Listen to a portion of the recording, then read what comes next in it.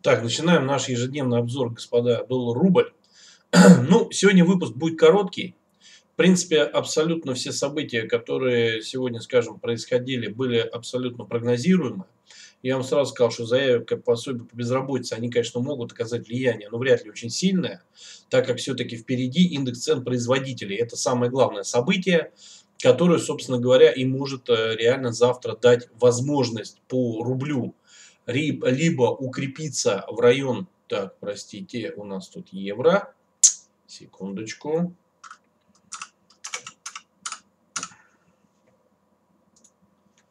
Так, вот смотрите. А, значит, может укрепиться за 63, попытаться, да, и тестирует 63,50.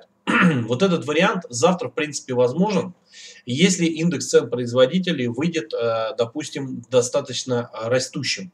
То есть, если вероятность повышения ставки резко вырастет, и, соответственно, грубо говоря, риски инфляции будут повышаться, то тогда вот мы можем увидеть такое укрепление по доллару в район 63-63-50. Выше, опять же говорю, скорее всего, вряд ли.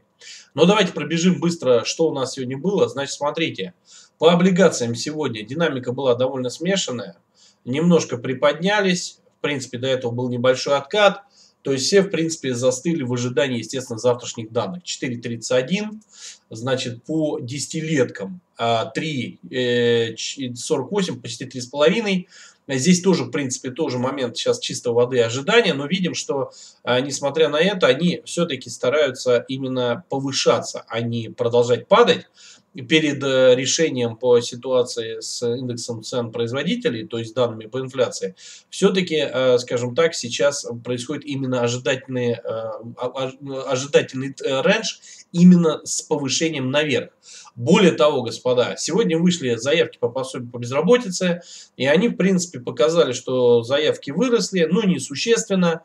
И вот насчет рецессии, кстати говоря, сегодня я прочитал одну очень-очень хорошую фразу, мне она очень понравилась. Я считаю, это лучшее, наверное, олицетворение того, что произошло вот э, буквально за эти пару дней.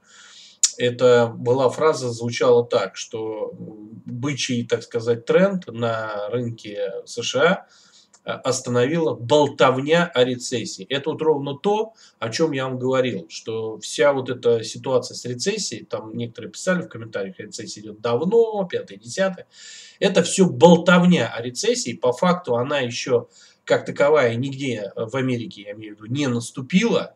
Да, риски ее, безусловно, появляются, потому что ставка продолжает расти. Ну и смотрите, что у нас происходило. Индекс доллара в итоге немножечко ослаб, потому что пособия выросли несущественно. Но в целом они как бы показывают тоже, что есть возможность повышения рецессии, но с другой стороны снижает риски а, повышения ставки. И вот в этой ситуации мы видим, что индекс доллара немного ослаб. По нефти, господа. Нефть у нас, э, в принципе, ну, снижалась буквально совсем немного. То есть 78 вот мы видим откатились практически на 76. Вот если здесь посмотреть, 76,5. Здесь вот как раз очень сильный уровень поддержки. И, э, значит, э, здесь ситуация следующая. Во-первых, все-таки Синзимпин поехал в Саудовскую Аравию, да, и там неизвестно тоже, какие будут договоренности. Э, все это тоже начинают уже, естественно, принимать во внимание. Более того, господа, вот сегодня как раз я также нашел информацию, которую я вам говорил, про которую я вам говорил вот свою, так сказать, теорию. А, Байден как раз сейчас думает о том, что пора заполнять уже хранилище по нефти, или цену можно сбить еще ниже. И вот в принципе, это все говорит о том, что, конечно же, сейчас произойдет зона покупателей, и нефть резко может развернуться. Это надо четко понимать, поэтому вот эта вся ситуация с рецессией, она была сейчас а, выдвинута для того, чтобы, конечно, цены на нефть максимально постараться опустить, и какое-то время, возможно, даже попытаться поддержать. Потолок этот цен на нефть тоже пока еще непонятно, какой произведет эффект. И, э, уже начались проблемы с танкерами, они там стали уже в пробке вставать. Э, Турция неплохо в этом плане помогает, тоже работает. Э, за, как говорится, запрещает проходить, если там нет страховки там, и так далее. Ну, в общем, этот геморрой, как говорится, да, начинает по большому счету создаваться, можно сказать, на ровном месте – и создавая тем самым, опять же, вероятность того, что нефть просто перестанет а, поступать в том количестве и так быстро, как, собственно говоря, хотелось бы. И это, естественно, может привести к росту цен на нефть. Поэтому, в принципе, еще раз напоминаю, основные события у нас, естественно, на следующей неделе. Заседание по ставке ФРС, индекс цен потребителей. Естественно, это те данные по инфляции, как раз которые выйдут э, перед заседанием по ФРС э, по ставке во вторник. Ну и, конечно, в преддверии вот этих именно индекс цен потребителей мы ждем индекс цен производителя, потому что они покажут, собственно говоря, э, какие могут быть индекс цен потребителей то есть насколько инфляция все-таки для самого производства э, снижается или наоборот растет. Поэтому, естественно, сильной динамики мы сегодня не видели. Да, приняли во внимание эти заявки по сути по безработице. Нефть мы видели тоже достаточно, фактически пришла на свое локальное дно и в любой момент может быть отскок. Ну и вот, собственно говоря, завтра мы как раз можем а, ожидать какую-то динамику, но еще раз говорю, крайне маловероятно, что мы в итоге уйдем за 63. Протестировать можем даже 63-50, но закрытие, скорее всего, будет все равно тоже в районе 63. В принципе, на сегодня, господа, ну вот еще по юаню пробежимся, да, здесь тоже как бы история, но я вам сразу сказал, что здесь будет откат, скорее всего, что девятку мы э, выше пробивать пока не будем, и это вполне логично, ну, потому что надо понимать, что сейчас, конечно, во-первых, Синзипин находится в, Сауди, в Саудовской Аравии, да, и там тоже как бы оттуда информация приходит, она тоже влияет, естественно, на курс юаня. Более того, юань, Китай заявил, в принципе, о снятии мер продолжение снятия мер по ковиду. Это тоже, безусловно, является позитивным. Есть уже даже информация, что вроде как, ну, скажем так, Елен заявила, что она, возможно, поедет как раз в Китай скоро. Она как бы заявила так, что очень так обтекаемо, что она как бы в планах это не имела, но она всегда к этому открыта. А фактически Китай является одним из самых крупных кредиторов для США. И как раз там вопросы по поводу долга, между прочим. А мы знаем, что сейчас ситуация на самом деле в Америке складывается очень нехорошая с точки зрения их облигаций. А, собственно говоря, а, спрос на них упал очень сильно и их это очень беспокоит. И, конечно же, как Китай, как был в свое время один из самых крупных держателей госдолга США, э, он, собственно говоря, как я понял, как раз они едут решать этот вопрос, потому что Китай очень много тогда избавлялся от него, особенно после ситуации, когда России продемонстрировали, как можно, собственно говоря, просто забрать их валютные резервы. Более того, мы знаем, что Китай провел даже стрессовые тесты тех санкций, которые были проведены против России, и они проверяли, насколько их экономика может выдержать такое давление, как вот, собственно говоря, произошло с Россией. Поэтому, еще раз говорю, по поводу юаня, ситуация очень пока э, тоже нестабильна. Конечно, он пока выглядит более сильным, Понятно, рубль ослабляется у нас, и в целом, как бы вот эта ковидная тема, она тоже ему дает поддержку. Ситуация с тем, что все-таки акции э, китайские тоже не делистинг, в итоге не проводится делистинг, и с Америкой вроде бы отношения у них опять налаживаются. Ну, скажем, в той мере, в которой э, устраивает тех же инвесторов.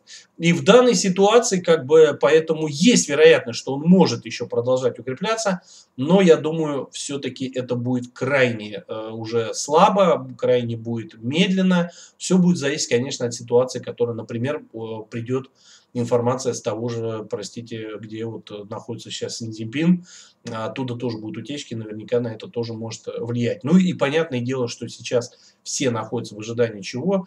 А, индекса цен производства, понятное дело, в США. Поэтому здесь такая пауза, мы видим, что доллар-рубль э, завис немного в таком положении ожидания, да, вот мы 62.70, я вам говорил, что, скорее всего, может быть отход на 62.50, так оно и произошло.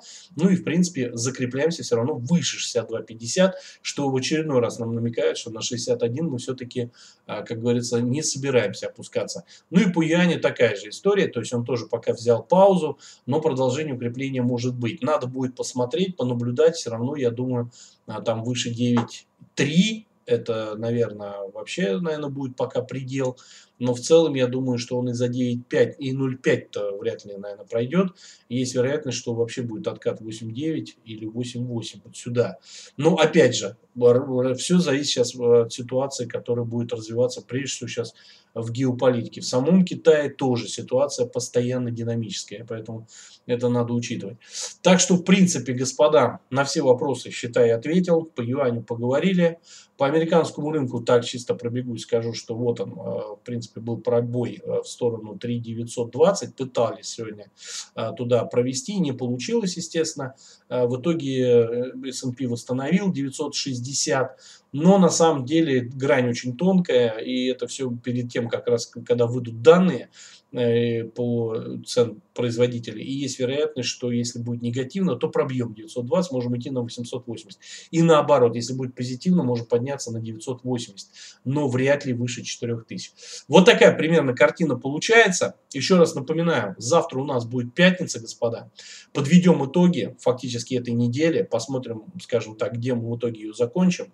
Видно, что в принципе мы сейчас от недели к неделе все выше и выше по курсу доллара-рубля. Но еще раз говорю, там, скорее всего, на этом скоро остановка наступит, поэтому высокого курса я все равно пока не жду. Посмотрим, как э, отработает, скажем так, индекс э, цен производства. Ну и, соответственно, ждем, конечно, что будет потом со ставкой ФРС. Насколько они смогут еще больше укрепить доллар.